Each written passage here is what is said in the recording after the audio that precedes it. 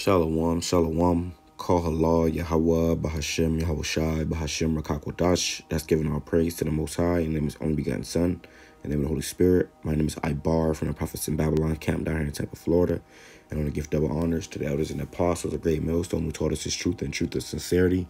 Peace and salutations to the hopeful elect scattered abroad. And in this video, I want to touch on this story. Okay, it says, a man in New York steals another man's hot dog at knife point. Okay, and it's a lucky, uh, you know, it's, it's off of Instagram. You know, I just figured I'd do do this raw, you know. But um, I praise edifying to the hopeful elect, man. But here's the video.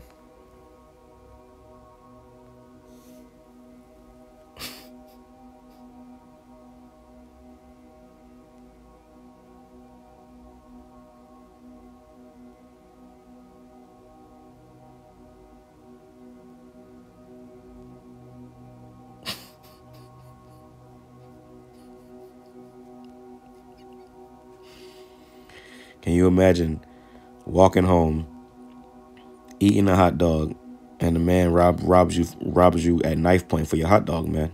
You know, and it's already bitten. You know, you have eaten a hot dog. It says that's gotta be the notorious uptown glizzy go, go, gobbler bandit. You know,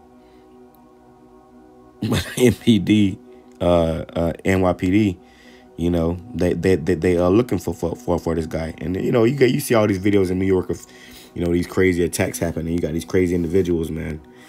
But this guy's robbed this guy at knife point for a a damn hot dog, man.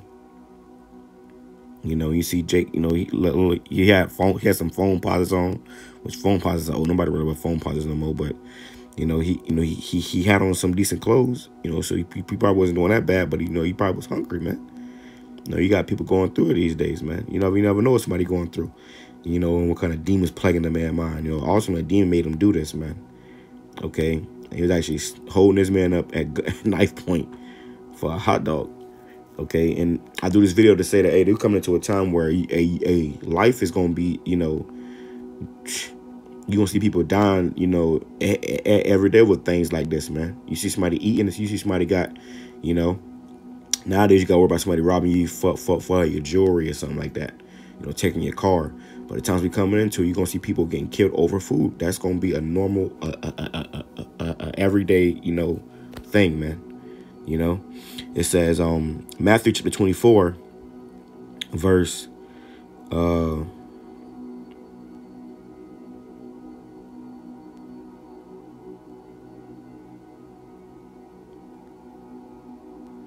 verse 12, Salakia.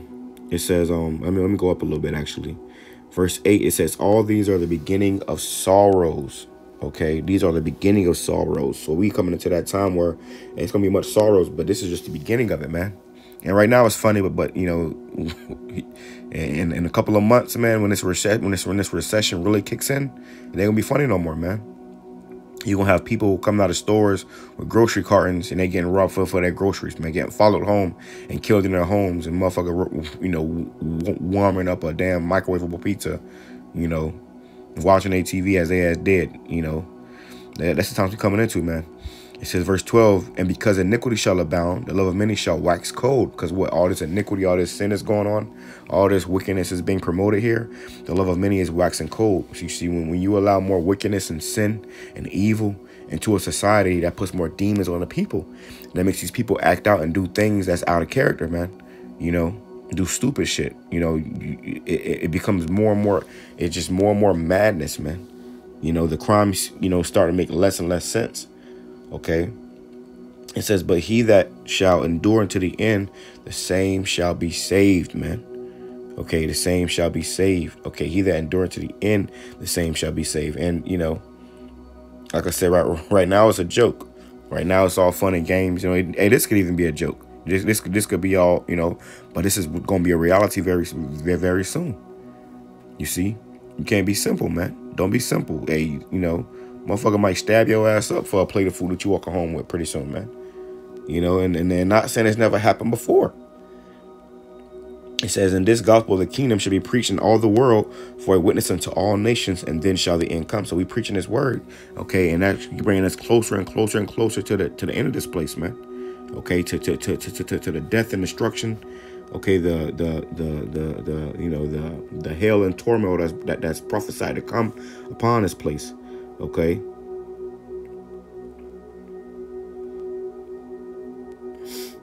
This is uh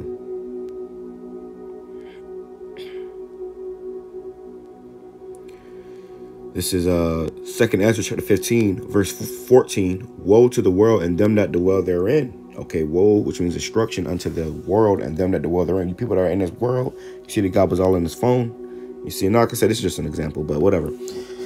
The guy's all in his phone, you know. A destruction will come upon you people, man. It says, For the sword and the destruction draweth nigh. And that guy came up with a mini sword. But the ultimate sword is Esau. Okay? A, a, a, a Esau is the Lord's whooping stick, man. You see, Esau is the Lord's whooping stick. And, you know, he, he you know, eventually he's, he's going to be destroyed by, by, by, by, the, by his own, you know, blessing, which is, which, which, which was the sword. It's going to be those thermonuclear missiles. And that's going to be the end of all this bullshit, man. That's when the Lord's going to clean, that's going to truly cleanse this place. Okay, because fire is a cleansing agent. You get motherfuckers, hold motherfuckers at knife point for, for, for, for uh, glizzies, hey, we got to get the hell up out of here, man. you know, I just did a video about how them hot dogs be having all types of poison in them, and them shits to give you fucking leukemia. You know? And then you feed them to your children. But that's that's another top another, for another day, Salakia. Verse 15.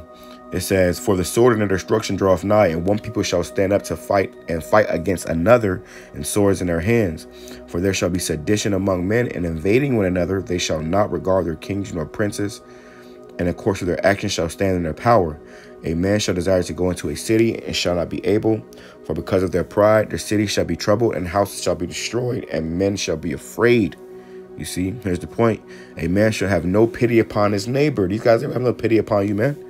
You know, a man shall have no pity upon his neighbor, but shall destroy their houses with the sword, and uh, but they sh shall destroy their houses with the sword and spoil their goods because of the lack of bread and for great tribulation, man. Okay, for the lack of bread and for great tribulation, because there's because there's gonna be a lack of food out here, man. It's gonna be hell going on. People ain't got no job. People got no house. People, you know, gonna be just unseen. They damn, you know, loved ones die. Okay, and they, and people, you know, these civilized people are gonna lose their damn mind, and you might get hunted down for, you know, for your damn hot dog or something, man. In the times that we coming into, don't be surprised. Okay, don't even be surprised. That's the point, though. With that I'm saying, I'm gonna say Shalom, Kwame Sharala, Abba, Babal.